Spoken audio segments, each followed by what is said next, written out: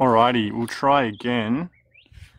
Um, so Melissa and Elise, just uh, just send me a message again if this is working now, and if not, we'll um, we'll just continue on and try it again at, at a later time.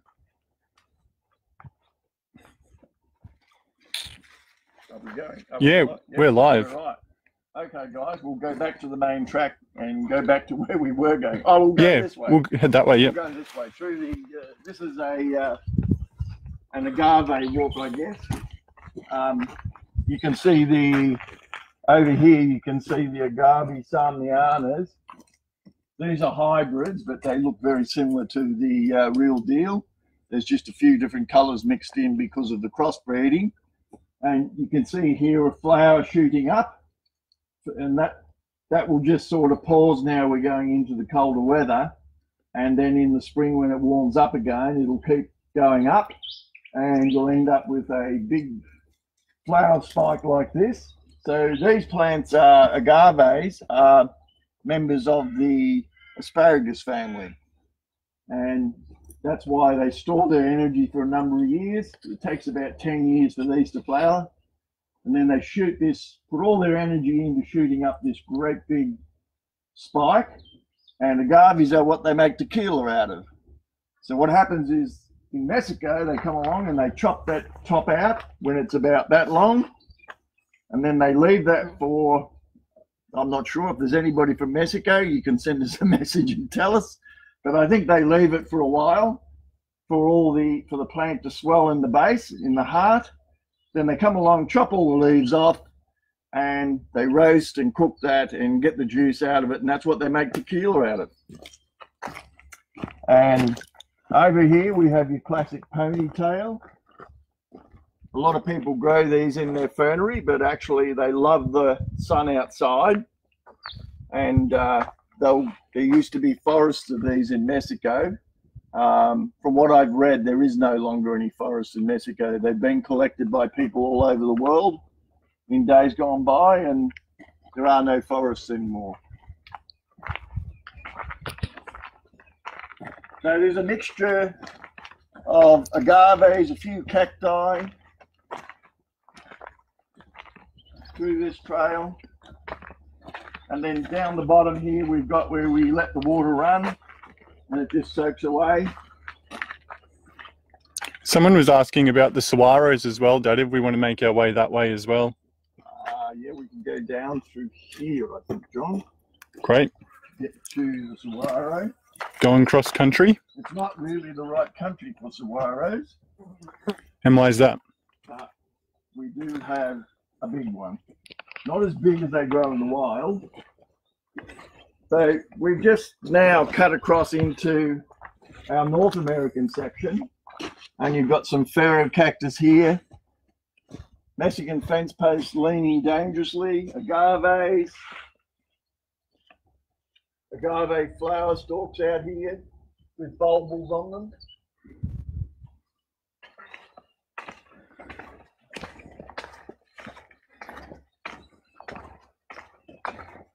And then here,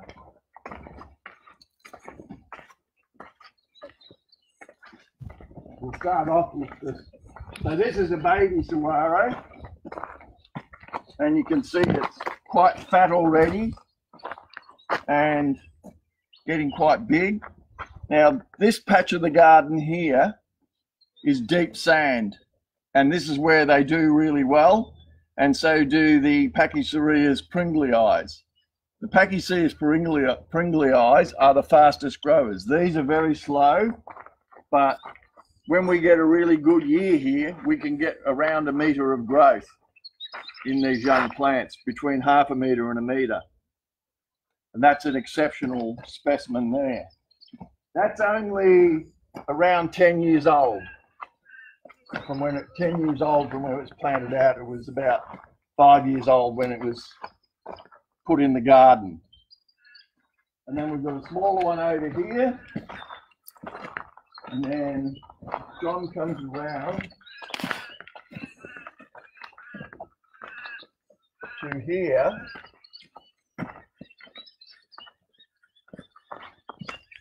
This is our big saguaro, I guess. It's probably 60 to 70 wide. And if I'm nearly two meters, that's probably close to six meters high now, I guess. But this plant's been here since uh, 2004. And there are other plants in the garden that are as big as that one behind John there that are exactly the same age but on the heavier soil. So they've hardly grown at all. And we'll go around and we'll have a look at the Pringlei. Um, I think they call them cardon in Mexico. El cardon or something like that. Or the elephant cactus. Because they get so big. Some Ferocactus pottsii here. Or potaceae, however you want to pronounce it. And we've got some little mammillarias. John might be able to zoom in here and show you some flowers here and the one the species back there. So the mammillarias do really well here. We have the temperature range that you can grow some of them out in the open garden without shade.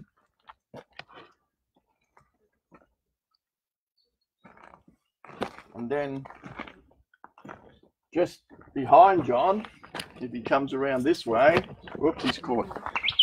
Uh, one of the really nice agaves, agave, um, I'm thinking truncata, but it's, it's variety truncata, uh, Parryi, variety truncata. So it's one of the only ones that grows up on a stem as it ages. But at, when it's at this stage here, it's an absolutely beautiful plant. And then over here is the elephant cactus. And you can see the pups on here. They've only been growing here for about five to six years, John. Yeah. And they're already this big. Now this plant is half the age of the saguaro that you were, we were looking at a moment ago over the back. So you can see that they grow much quicker and they'll shoot pups much earlier in life. We haven't got any uh, pups on our big um, saguaro yet.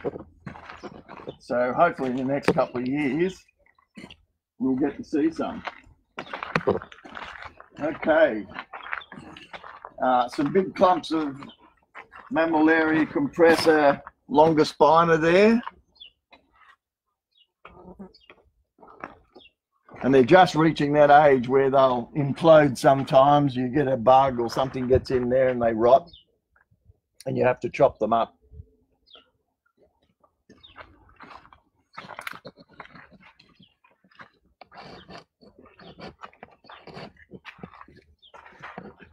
Um,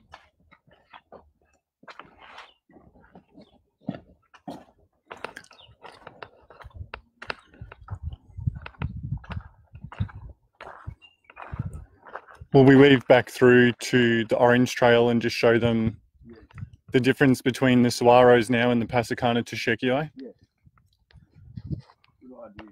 Back through here, back into the wild. Can you talk about this um, Myrtillo hybrid as well? Uh, it's not a hybrid, it's a Myrtillo cactus. And uh, I don't know which one it is. I'm not an expert on Myrtillos, but it's not geometrizans. It's one of the other ones that grows much thicker and taller. Geometrizans is the one over here. Metrosims is the one over here. And you see it's a more of a rounded lower clump with less thick arms on it. And But this one grows up uh, with a very thick stem and it just keeps getting quite a bit thicker and it gets much higher.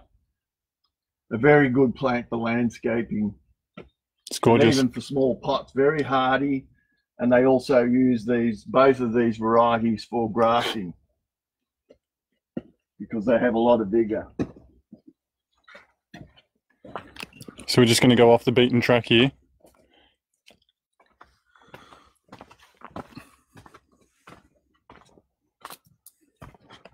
The And- track we're coming on is being created by mountain goat people. um, what is your temperature range? It is amazing how you can grow all of them outside unprotected. by Cactus Caffeine. Um, We do have some um, some covered areas as well that we'll show the guys later. yes, well, we our temperature at the, today is around probably reached 17 degrees, and uh, the coldest we get during the winter can be minus 10, but we haven't had with climate change, I guess, or climate shift, whatever you want to call it. We get down to about minus two, minus three on the coldest mornings, and it's only the odd morning of the year. Um, when I was, I'm in my 60s now, and when I was a child in this same area, we used to get very cold mornings of up to minus 12, and we'd get, you know, 10, 20 in a row, and the, the channels and the little pools and ponds would all be frozen over. And sometimes they'd stay frozen through the whole day and they'd get quite thick.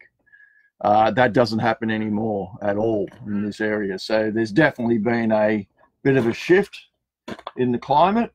Uh, our hottest days uh, can be 45 plus, and but our normal range is probably from around the 15 degrees during the day to 35 during the day. Yeah, That's our normal range, which would be maybe half our year or three quarters of the year. And cacti grow at their best when they have water and day night a, a night temperature that's 10 to 12 degrees and a day temperature around the 25 to 30 30 32 something like that and they just grow like crazy so we've had really quite a warm autumn and quite a bit of rain and you can see that all the plants are pumped up and growing really well and um, just convert that to Fahrenheit if you're in the states. There, all those temperatures are in Celsius. uh yes so Someone just asked um, what kind of gloves we use. We use mostly welding gloves to handle cacti with big spikes. i prefer to use my hands but john likes to use gloves out to our right up there on the hill is the lookout that's been created look over our new area out here to the right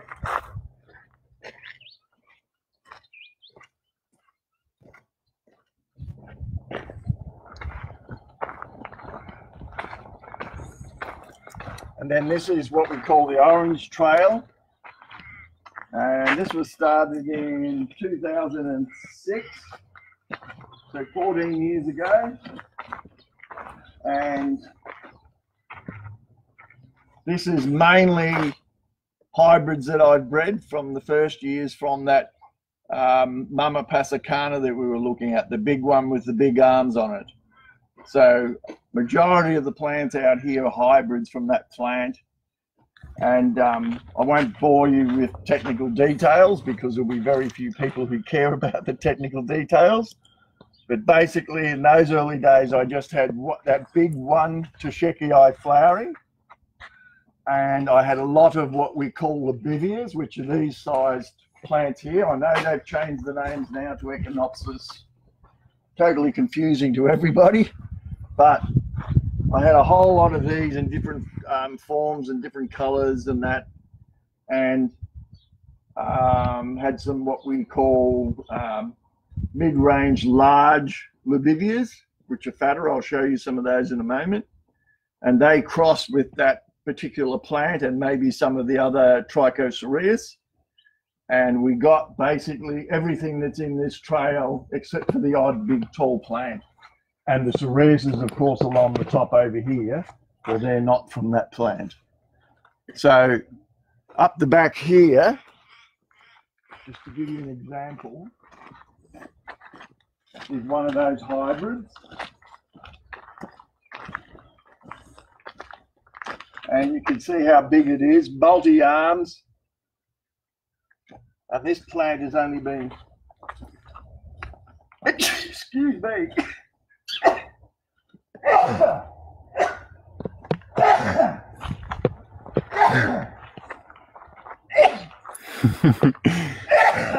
this is common for dad to get a sneezing fit.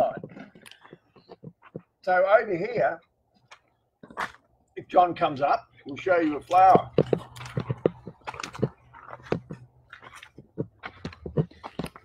And you can see the bees here. This is just opening. And you can see how excited the bees are because there'll be beautiful brand new pollen here. And uh, they're going to fight about who gets it. Um, Brad Drysdale just um, commented, I've got some seeds crossed with JP three heads, which is that one. JP3 heads is down there. Yeah. We'll show you in a minute, Brad.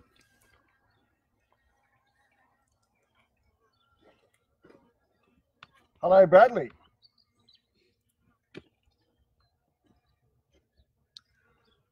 Beautiful. Oh, Bjorn just tuned in. Bjorn from Germany. Hello, Bjorn. Is that Bjorn from Backpacker Days? Yeah. Hi, mate. How are you? On the left here is a big patch of San Pedro. And when this was in flower, one of our very, probably our top rated videos was shot here. And it had well over, it's heading towards 2 million views now. So I think 6 million. 6 million. Yeah. Oh, well, there you go. Yeah. It just keeps going and going. It was just maybe a thousand to two thousand flowers on this all over. It was just basically white. Okay, so I think we'll walk up to the middle, John. Yep. And maybe in talking about the hybrids, we can show them what we're trying to do with crossbreeding. For example, you've got the Sansevieria to your right that's fallen over, um, which has a coloured flower. Silencia. Serencia, sorry. Sansevieria is a different things altogether. Well, that's why Uh, you're here. Another one here. See, Yeah, we were talking about the roots before. You can see how shallow the roots are. For a plant this size with shallow roots, and then you get a lot of rain and the weight is too much on the top and it leans a bit and they go down. So what I suggest to people to do is what we're in the process of doing is putting some big rocks around them. Um, I had big rocks around the one over here, I thought big enough, but the plant got so heavy and leaned in that direction and went over.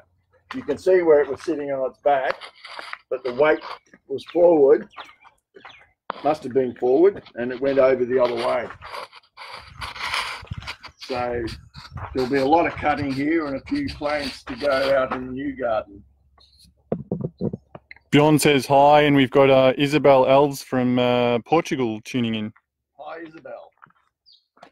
And So, when you look around here, you can see this is a hybrid from the same, all these plants that I'll just quickly point out were from the same batch of seed. So this plant here, a lot of these have numbers and they're our breeding numbers. So for instance, this is a monstrose Tish- uh, Terscheckii cross because it came from a Terscheckii. It probably is a Tricho um, like Psychonaut or one of those other ones that I have here that have been bred here. It's probably a cross with one of those, and so it's not quite as thick. But as it's aging now, we're seeing that it's really starting to thicken up, and it's going to be one that maybe will grow several more meters high. Um, when we call something monstrose, what we're talking about is that you can see that it shifts. See how it stops the ribs here and it just misses some spines and then it makes another rib and then the other one curls around. And it's a general thing and then away it goes growing again and then if uh, john comes around this side you can see in here where it's just missing and dropping and starting ribs again so this is one of the ones that we're doing a lot of breeding from because it has a very more open and big flower compared to what the um, eyes normally do. And so we've done a lot of color breeding with this one.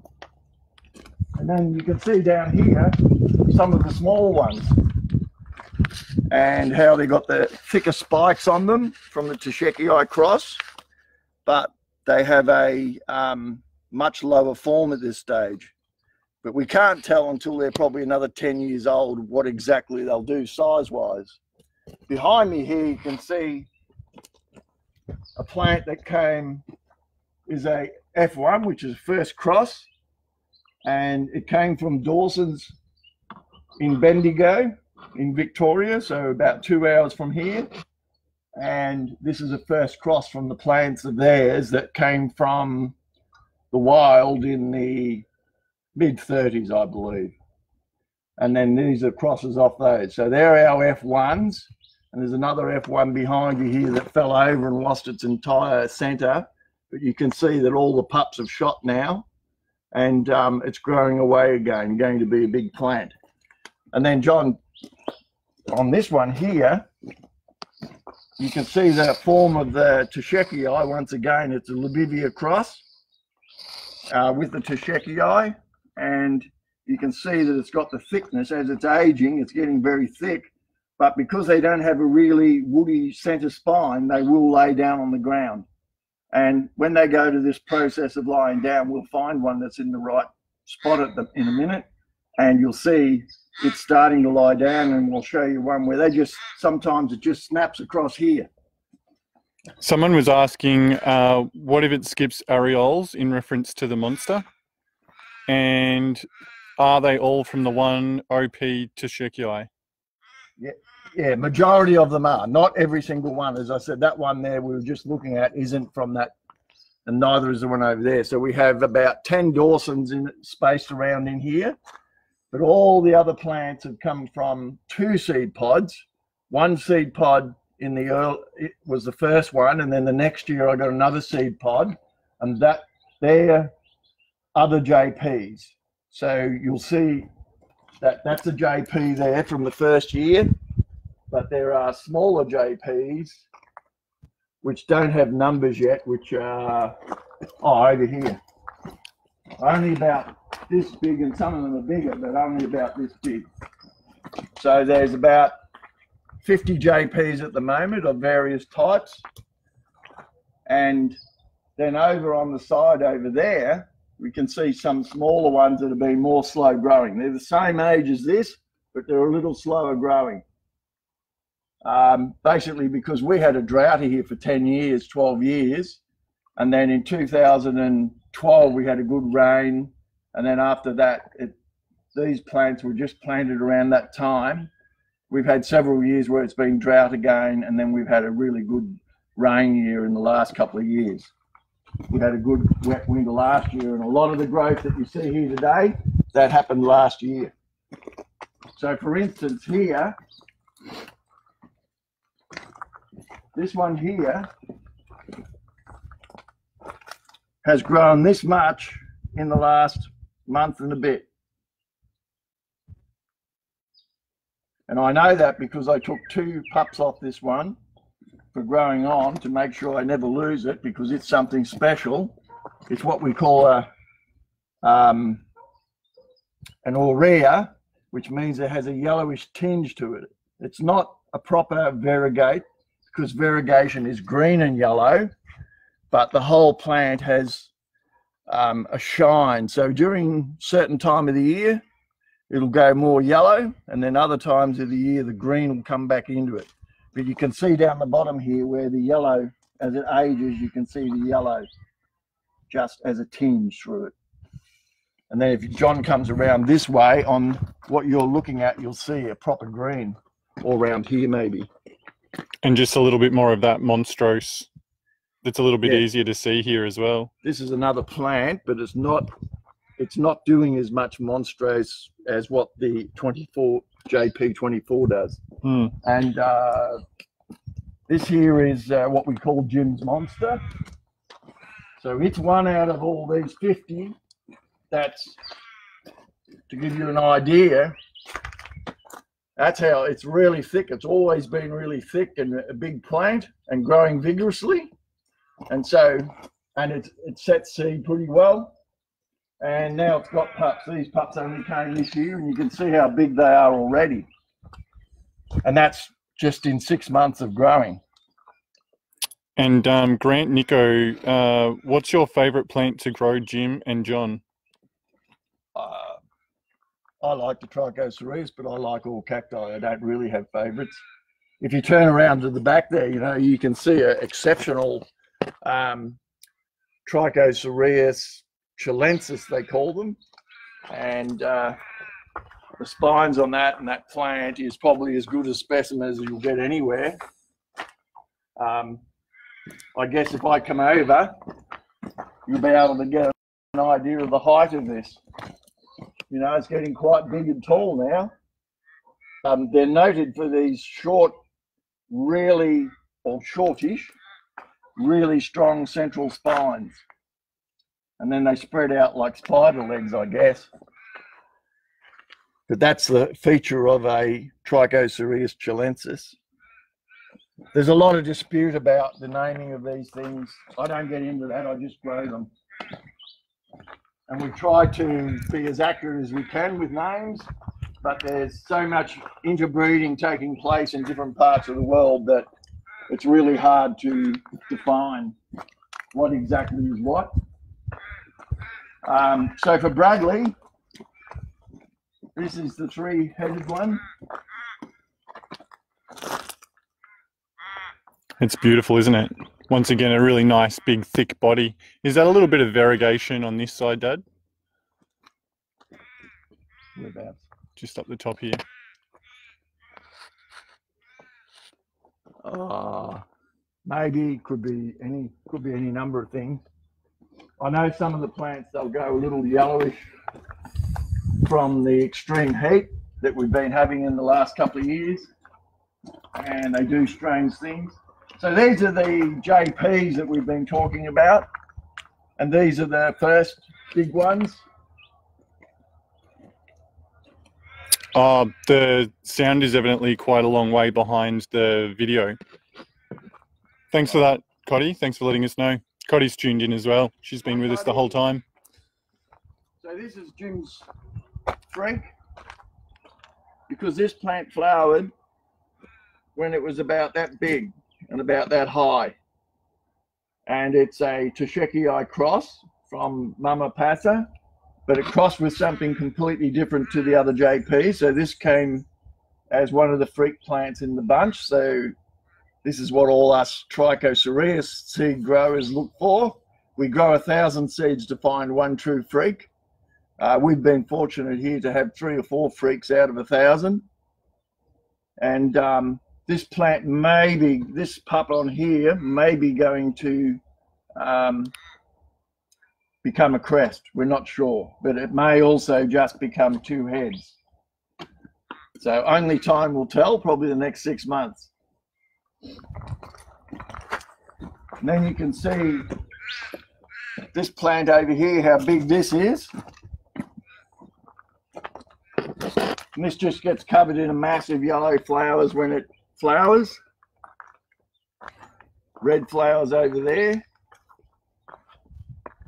And what we're always, what I'm always looking for when I'm breeding is plants with exceptional flowers, but also big, robust frames because I've got a friend, Joylene, and Joylene may or may not be tuned in, but she, like me, likes big, strong plants.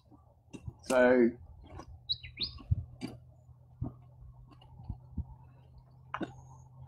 Yeah, I can see the video lagging. I don't think there's much we can do about it, unfortunately. We'll just continue on and so they get getting the sound later than the yeah, the video is lagging behind the audio by the sounds of things. right.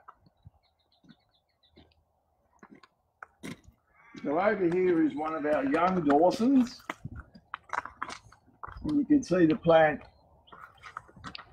is much behind Mama Pasa. This is an F1 from Dawson's that I planted several years later than the one over there.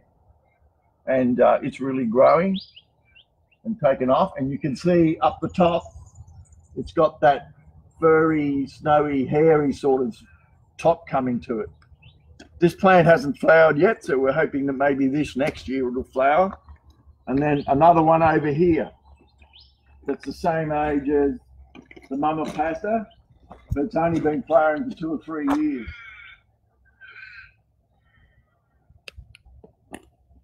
And it's propped because we had really bad storms a couple of years ago, and we were just too scared to leave it because it's got so much weight, so we just left the, the props there. Now we're getting into some of the other JPs, or these don't even have numbers as yet. This is um, this is one I've named after John because he's so tall. I called it Big John. Uh, you can see the spikes are really robust on it, so that's coming from the Terscheckii. And then a Lobivia, it has an enormous, and then something really special, guys. We've got the horned. I didn't even know this. I don't know whether we'll be able to get a good shot, but the horned spider here, if you can come around this side, John, you'll be, they'll be able to see the, the horns on it. If you can.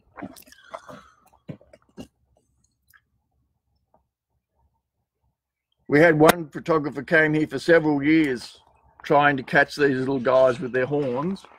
It took him about four years before he got here at the right time of the year to get the shot. Mm, no, it's not going to focus on it. Uh, we might have to get a shot of that and put it Yeah, we'll get a photo. with the camera. So these are the first of the JPs here that were planted out. So over here,